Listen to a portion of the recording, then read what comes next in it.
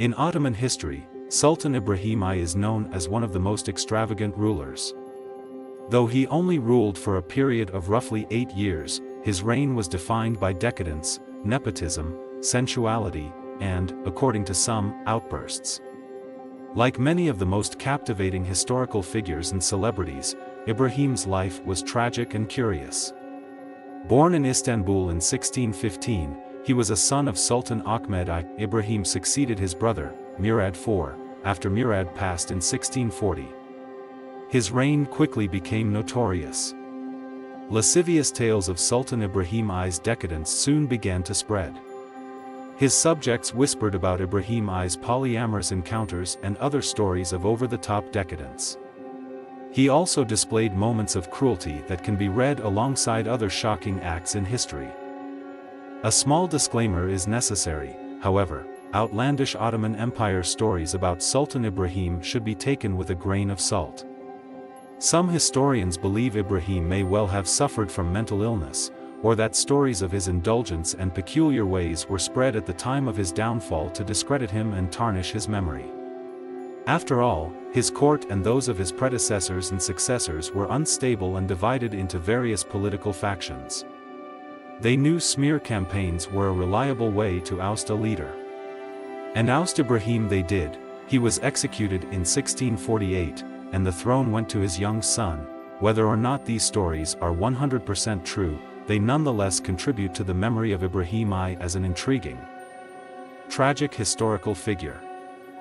1. He spent many years of his life in a palace cage, in 1623, when his older brother Murad IV took the throne, eight-year-old Ibrahim was confined to a palace cage. But this wasn't a typical cage, the Ottoman kafes, literally, cage, was a form of security for the reigning emperor, who locked away royal rivals or possible successors in a special part of the imperial palace. That way, they could be constantly monitored so as not to organize a coup or get into dangerous mischief. During accession struggles, it was not uncommon for sultans, or prospective heirs, to be slain. Indeed, Murad actually got rid of several powerful officials and three of his brothers, but decided to spare Ibrahim's life.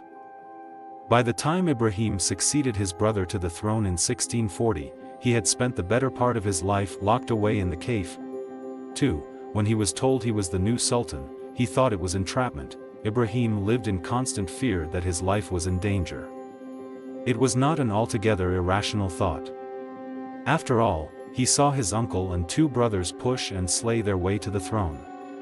So when Ibrahim's older brother, Murad, passed in 1640 and Ibrahim was informed he was the new sultan, he was skeptical, he had to see his brother's remains to believe it, since he was afraid his brother was testing him and would off him if he appeared too eager. 3. His health was often poor. And those around him took full advantage of his weakness, perhaps as a result of his years spent locked away in the cave, Ibrahim was constantly anxious that his life was in danger, and Ibrahim suffered from poor health throughout his relatively short adult life.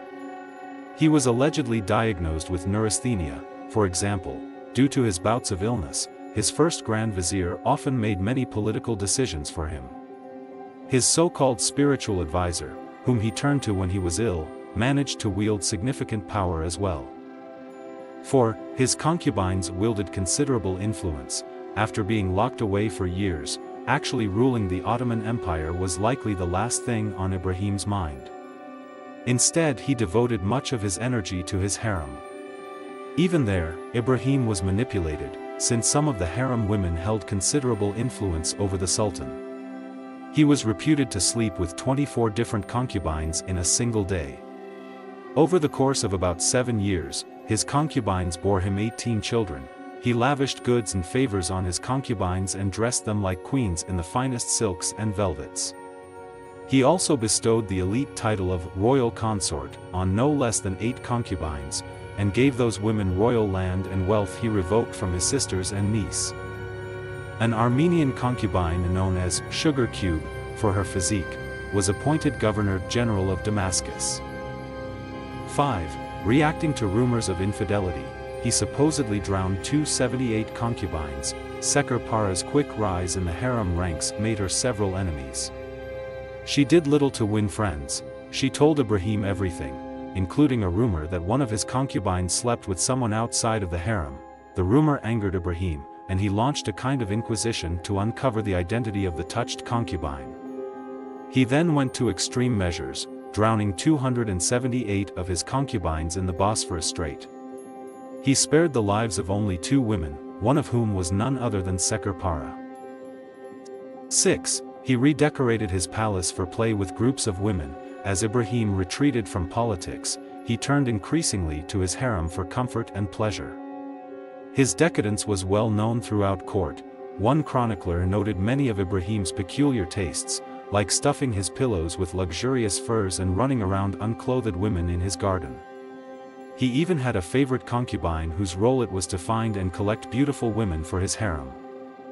7. His tastes were so decadent he taxed his ministers to finance his lifestyle. Ibrahim was a man of expensive taste, and he built a reputation as a decadent ruler. Moreover, his decadent tastes had a direct impact on the economy of the empire. He was said to drink amber in a cup of steaming coffee so frequently he drove up the price of amber. Besides women, Ibrahim's true love was luxurious sable furs.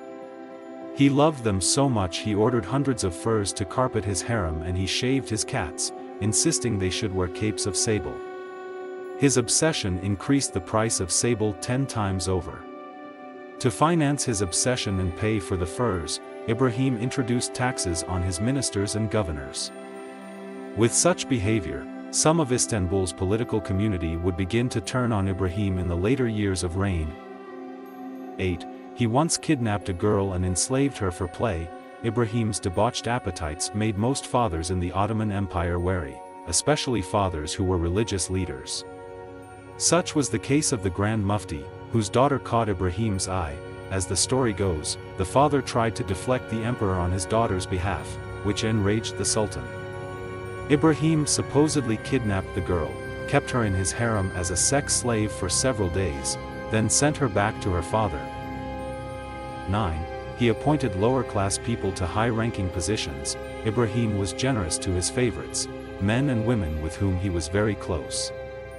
He elevated a number of them by appointing them to important, distinguished positions in the empire. In one of the most dramatic honors, Ibrahim elevated a man from the position of bath keeper to a general of the Janissaries, an elite unit of the household guards. 10. He disguised himself to personally inspect markets in Istanbul, though popular opinion insisted Ibrahim was a decadent and out-of-touch ruler, those accusations don't paint the entire picture. At least initially, Ibrahim indicated he was at least a little bit interested in ruling.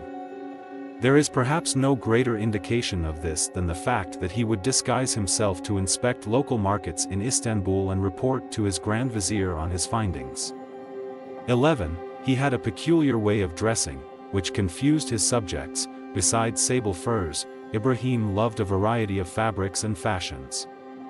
He wove flowers in his hair, rather than donning the imperial turban at times, which invoked criticism from many of his subjects.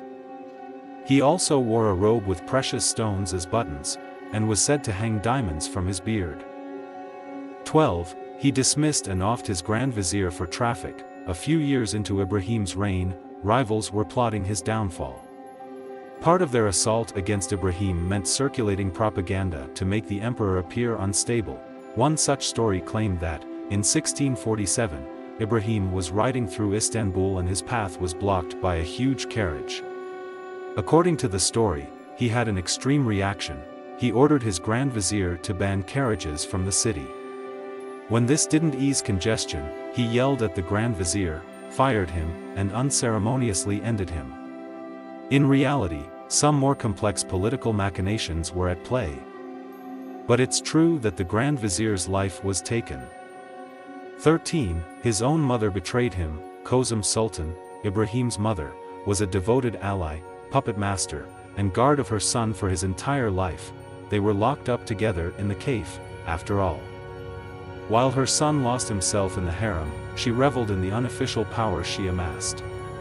But, as Ibrahim elevated favorite concubines, she slowly lost power, and Ibrahim briefly exiled her in 1647, after she had plotted to overthrow him. By 1648, Kösem regained some power, just in time for her son's downfall. Political schemes culminated in a rebellion by the Janissaries, who, with Kösem's Sultan's support, imprisoned the Sultan in his palace and formally deposed him in favor of his young son. 14. After an anguished return to the cave, Ibrahim was strangled. Ibrahim's mother supported his removal from power on the condition he would not be slain, but instead imprisoned once more in the cave. It was a tragic twist for Ibrahim, who returned to a cage where he first feared for his life. He spent ten days wailing in the cave.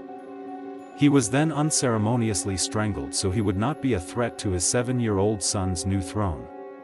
It was an ironic end for a man who began his life with the constant expectation of fear. Thanks for joining me on this exploration of the incredible life of Ibrahim I, the man who defied convention and lived an extraordinary existence in a cage.